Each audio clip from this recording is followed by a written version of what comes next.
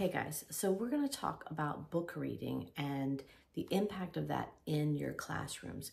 Now, everybody reads books, so that's one of the things that we can easily attach some of our communication objectives to. Now, you can read a book in many, many different ways. The most common way is to show the book and look through the pages and then read it. So we can hold it up to ourselves, we read the text, and then we show a picture. That's the, the most common way of reading a book. With just a few little tweaks, though, we can make this an activity that helps us engage in social interaction with our students and gives them an opportunity to communicate with us or to practice their communication skills. In order to do that, we just need a few things. So I created a very simple preschool communication board that goes along with reading a book. So it has very simple messages like, look at that, and let me see. That's funny. So there are things that you may say or the student may say while you're reading the book. What we're hoping to do is to teach the student to use multiple functions of communication while simply reading a book. So we're going to give them the opportunity to control the situation, to say things like, let's stop, um, to ask you to do something for them. So maybe they can say, let's read. We want them to be able to comment. So that's going to be things like, that's funny, right? Um, and then they can ask to be a part of the book reading by saying, let's turn a page. Six super simple comments, requests, um, and control messages that our students can practice in an activity that you're going to do anyway. So let's talk about how this looks. So when I'm sitting down with a student, I'm getting ready to read my book, I'm going to say, hey, let's read. And then I'm going to wait, make sure that the communication page or device, if this is on a communication device, is close enough to them that they can look at it, potentially touch it themselves, or maybe if they are speaking, say the words that they just heard me say.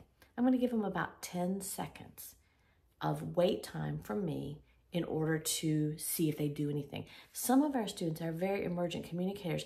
All they're going to do potentially is look at the page that you just pointed at. Look at the look at the symbol. That's okay because that attention to the symbol is one of the first things that we want to see happen with our student. So we've said let's read and then we're going to go about reading our book, okay? So I'm going to start my book, Dear Zoo, I wrote to the zoo to send me a pet. They sent me a, oh, what is it? And now I'm going to comment a little bit.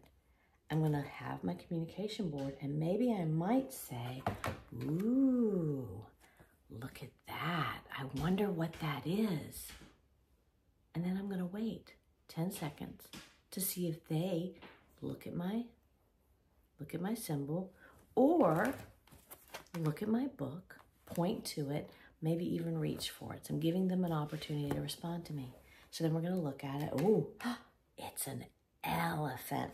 I wrote the word there just to make it more obvious and to give us an opportunity to look at the text that is associated with the image on my page. I'm not saying you should always write in your books, but in this case, it was my book. I did it. Okay. He was too big.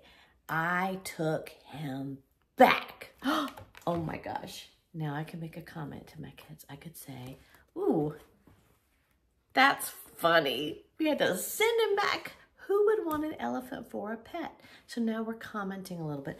And then I'm going to wait to see if my student says or does anything that I can construe as communicative. So maybe they look at the, at the symbol. Maybe they touch it. Maybe they look at me and laugh, right? So if they look at me and they laugh, I'm going to interpret that. I'm going to go, oh, yeah, you're right. I agree. And then I'm going to model it on my board. I'm going to say, that's funny, right? Okay. And then I'm going to show them the first few times this symbol, turn the page. So let's turn the page. Then we're going to go back to our book and we're going to turn the page and you're just going to keep reading through the book. Now, all during this time, it's really important that you're paying attention to how your student is interacting with facial expressions, gestures, their words, their sounds, And you're going to interpret all of that to either verbal speech or the use of the, of the board. So if you have that student who's beginning to get a little wiggly in their seat, we might say to them, hey, let's stop for a minute because that's what they're telling you, right? Let's stop for a minute. And you might take the book and you might set it down and set down your board and wait for a minute. Give them a little bit of a break. And then you might bring that book back out again and see if you can reinitiate the activity. Now, I'm not saying wait 30 minutes. I'm saying give them a minute, maybe two, right? Maybe they just need to wiggle. Maybe they need to stand up. A lot of times if they get up and they move around, that's okay because they'll come back. If you are interesting and you're engaging when you're reading the book, they're going to come back. Now, a few things, a few tips about this, things to avoid. When you're reading a book, one of your goals may be that the child is beginning to learn some vocabulary. So you could do things like talk about the giraffe, and you could talk about the lion. Um, but what we tend to do is we tend to get a little um, heavy on this noun noun labeling. Um, so we do things with our students like we read our book, and then when we engage them to interact with us, we will do things like say, "Okay, Jackson, point to the elephant." Where's the elephant? Can you touch the elephant? And then Jackson touches the elephant. Now, if you think about that from a reading perspective, that's a vocabulary task. It's a receptive vocabulary or understanding vocabulary task for your student. So they may learn to say the word elephant, right? Or they may learn to understand the word elephant. Is there value in that? Well, sure, there's definitely value in it. But what I'd like to say is even if, if that's your goal, sometimes when you read your book, that's okay. But you want to more often use your book reading as a time to socially connect draw attention to text, and help your student practice communication skills. That's it.